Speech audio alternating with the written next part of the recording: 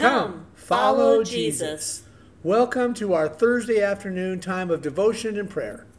Today is a, a beautiful January day. Temperatures are a little bit warmer. Get some fresh air, chip some ice, do something to enliven your soul and to get something uh, fresh around you because tomorrow the temperatures are going to drop and we are going to be heading into that frigid February type weather. The good news is that as of today, it is only two months until spring. That's a long two months, but the days are getting longer and there is hope in the air. So the good news is God's love never fails, even when it's cold outside.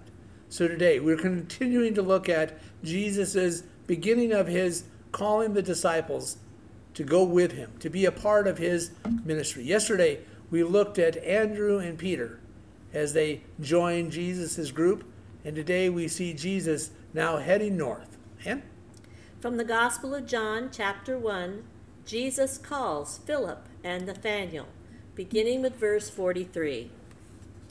The next day, Jesus decided to go to Galilee. He found Philip and said to him, Follow me. Now Philip was from Bethsaida, the city of Andrew and Peter. Philip found Nathanael and said to him, We have found him about whom Moses in the law and also the prophets wrote, Jesus, son of Joseph from Nazareth.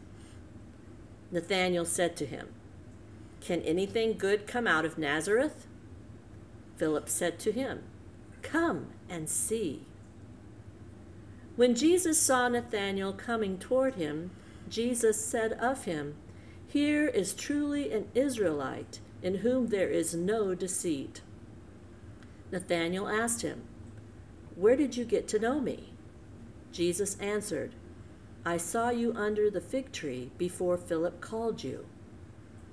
Nathanael replied, Rabbi, you are the Son of God, you are the King of Israel.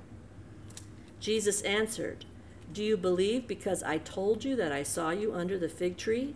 You will see greater things than these.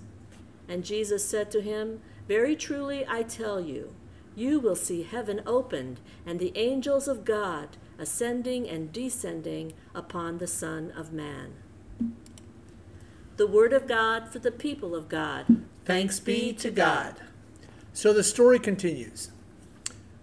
As we look at this, Jesus has decided to head to Galilee.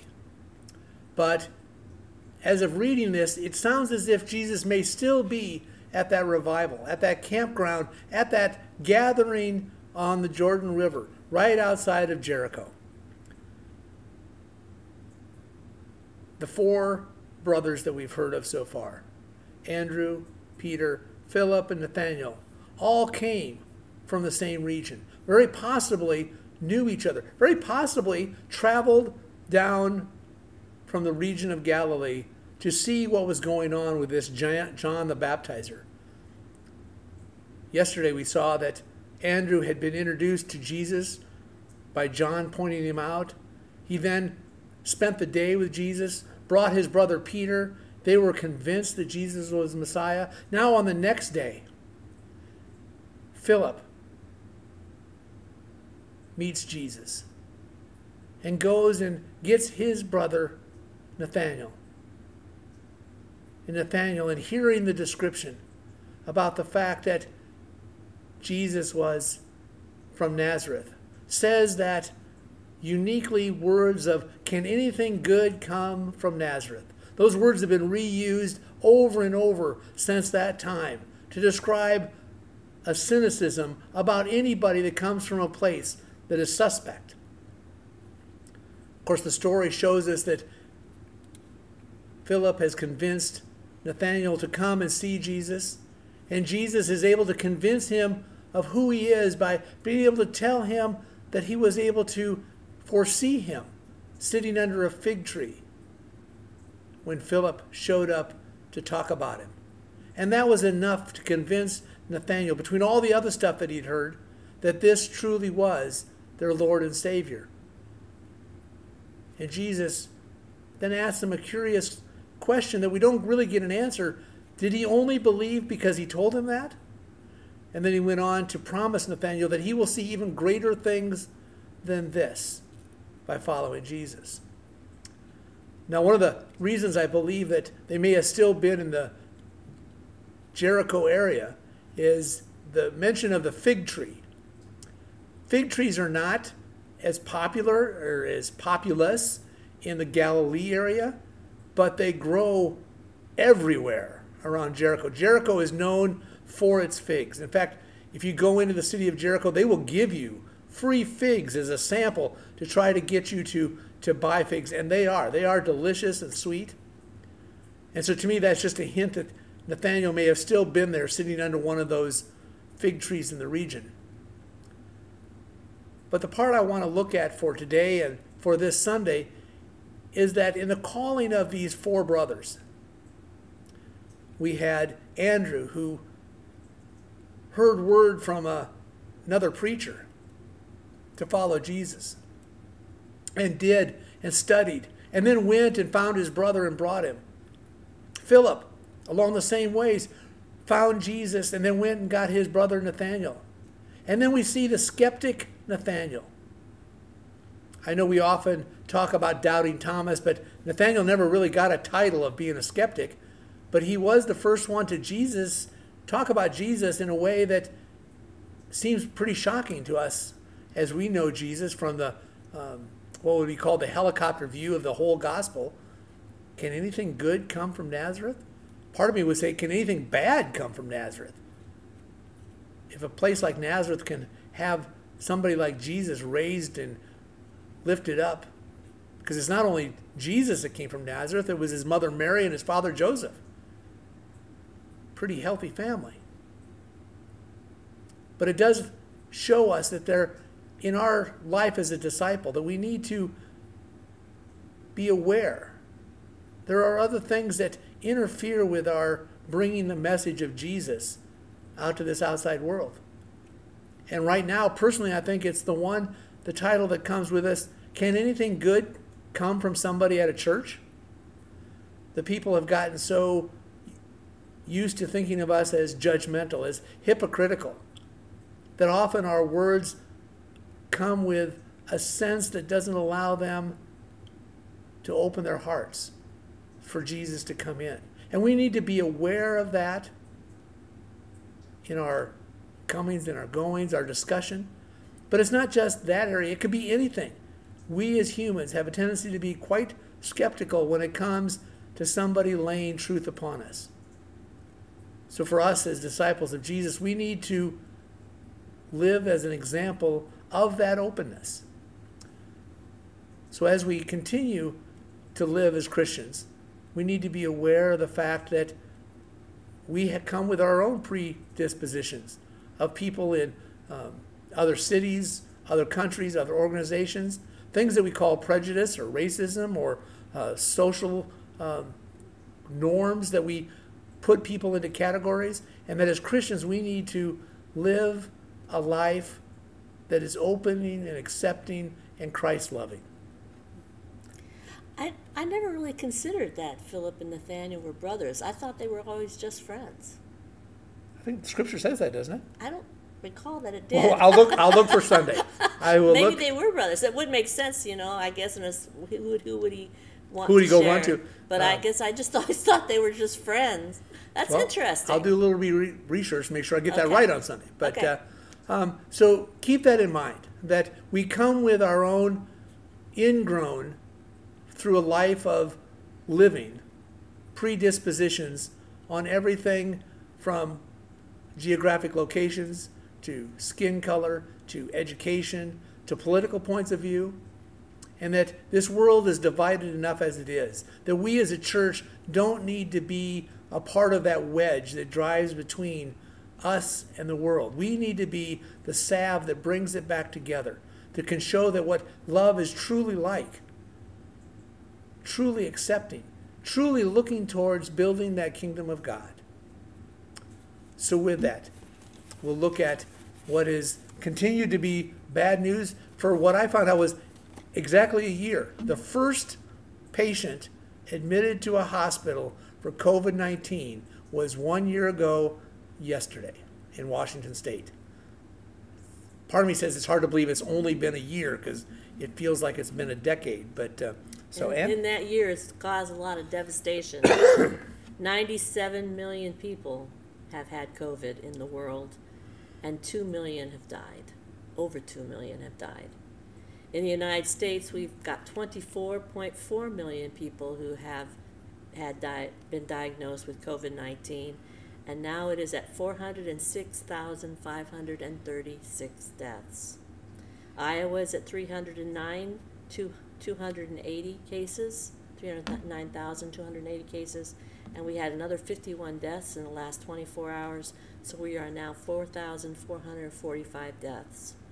Thinking about that number of 406,536 deaths in the United States, there was, of course, that m- very moving memorial the other night. Um, but if you take that, that, that means in the last 17 days, there have been 17,345 deaths in the United States.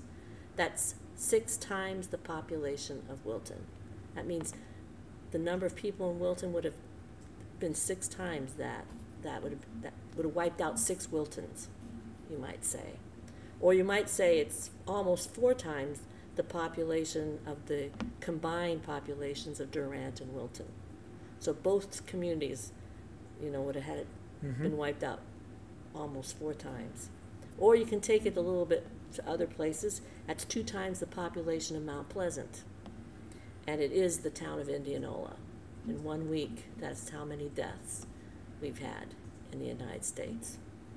So continue to pray, and when the vaccine opens up for you at your age, whatever that will be, I'm glad that the I'm glad to hear that Iowa is now going with the CDC recommendation. As long as we have vaccine, that people can be vaccinated at 65 and older, and I do hope um, I will certainly be as soon as I can signing up for the vaccine. and she wished she could move her birthday up about four months. Yeah, I really wish I could because I'm 64, so I'm not going to be eligible for a while yet. But anyway, I, I do continue to pray, and we, we need to be, be in prayer for all those who are dealing with this up front, you know, the front lines, as Steve always prays for those doctors, nurses, emergency responders, and so forth. Well, as I said yesterday, uh, within our own church, we the good news is right now everybody seems to be home. I did it kind of a little bit ahead of time, but I was pretty sure of it. But I did get the confirmation that Jim Lincoln is now home from the hospital. He had uh, pneumonia. So the last that I've heard, everybody in our church is at home. A lot of them are recovering. A lot of them are regaining strength. A lot of them are continuing their radiation and chemotherapy. Um, so we want to continue to keep all of those in our prayers. That uh, Diane Budding can continue to um, get stronger as she continues to look at her pancreatitis. That we can keep in prayers Carolyn Tharp, who's now home but continues her treatment. Um, Marsha Hetzler, Stefan Turks, not Stefan, Rick Steffen Rick, Steff, Rick Steffens, um, or Turk. or Turk, yeah, as uh, they continue uh, their treatments to be with those that are dealing with aches and pains of the uh, mind, heart, body, and soul, that they may continue to uh, uh, improve and to get better. Carol Walton too. Carol Walton with her stroke, but she's they're I know all she's doing better, yep, much they're all better, home. but yeah, still, it's uh, that can't be easy. yeah, that's right. It, uh, uh, but the good news is that they're all close enough that it's a, a local phone call. So if you want to reach out and make a phone call or drop off a Good note, suggestion. um, that would be, I'm sure, well appreciated by everybody. We want to continue uh, to pray for our nation. Yesterday was a, a beautiful day of celebrating, um, hopefully, the reuniting of our country. and a peaceful transfer. Sure, yep. That was very scary. You know, we were afraid of violence. So, as we come into our prayer time, um, continue to lift up your own silent prayers, your own celebrations as we uh, go to this time of Christ. Let us pray. Lord, we thank you. We thank you for the news that they're, all of our flock are home.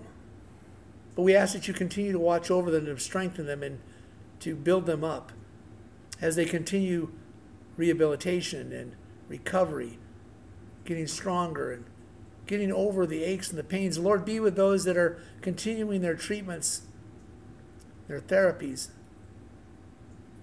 Lord, we specifically ask that you continue to watch over Diane and Turk and Carolyn and Marcia. Carol, as they recover from their bouts and their treatments. Lord, we ask that you continue to watch over our nation as we prepare to move forward in this time of COVID 19, that the efficiency of giving out vaccinations and process can be one that brings about hope. Lord, we ask that you continue to watch over the doctors and the nurses as they find some relief in the fact that many of them have gotten the vaccine and can now breathe a little easier, to be with our homebound as they continue to wait, in our care centers as they now celebrate the fact that they are one step closer to being protected. Lord, I ask that you continue to watch over all of those who live on the front lines, our police and fire departments, EMTs and ambulance drivers, our delivery people and grocery store workers, restaurant workers. Allow them to continue to be safe. Lord, we ask that you continue to watch over your church as we continue to look at what it means to be your church in these divided times, in these pandemic times. Lord, we've never done this before, but we know that since your love never fails, that we can get through this and that we can be disciples like Andrew and Philip who reach out and tell others so that they can have that experience of knowing your love and compassion, feeling the freedom of forgiveness. Lord, today, we just ask that you continue to watch over us, to walk with us, to guide our paths, to prepare our hearts. Help our minds to discern what it is that we can do to bring about your kingdom. We ask all this in your precious name. Amen. Amen. One thing to let you know is that today, and what was the positivity rate for today? 13? 13.2% in Muscatine County. So, to let you know what the church administrative council, we had set a bar of 12% that we needed to be below that for two weeks. And the way that that works is that on Thursday, today, I check what the positivity rate is. I then, in connection and um, with the leadership of the church, the lay leader and the ad council leader, we realize and, and admit, I suppose, that today is above 12%, which means it has to be above 12 below 12% today and 12% next Thursday in order to be open in this case January 31st. But because we're not below 10 12% or below today, it will be at least February 7th now before we are back to in-person church. The reason for that delay from the first 12% to church is to give us time to prepare the the sanctuary, to prepare my my my the front of the sanctuary. It's all set up as a TV studio, and it's going to take a while to move stuff, reset stuff, and to do that in a safe way. So we, we give ourselves a week and a half notice. So I can tell you right now, we will still be virtual this Sunday as well as next Sunday. And we can keep praying to wear our masks and to stay safe. And then maybe on February 7th, we will be at a place where we can start our in person worship. I would remind you that one of the things that our new president has asked is that in his first 100 days of presidency, uh, they often put out a challenge for the first 100 days to see what they can get done to get it started. And um, President Biden, Biden has asked us all to wear masks for the first 100 days. And that alone should be enough to really break the curve, get the vaccines out, as well as having 100 million vaccines is the other goal. So keep that in your prayers. But I would remind you, this Sunday we will have worship at 10:15 and 7 p.m. on Facebook and YouTube, and then there will be a Sunday school at 1 o'clock premiering on Facebook and YouTube for those of you that want to see what about the happiest place on earth. I don't. Can, can Mine says it too, but it's just a um, shirt. As we look at making the church the yeah, happiest. It yeah, says my happy place. So as we continue, may you remember that God is a God of peace, and love, and that God's love never fails. And that is why I can easily say every week, every day, that no matter what, you can rely on the fact that God loves you and I love you, and there's nothing you can do about it. Peace be with you. Let us follow Jesus, whose love never fails.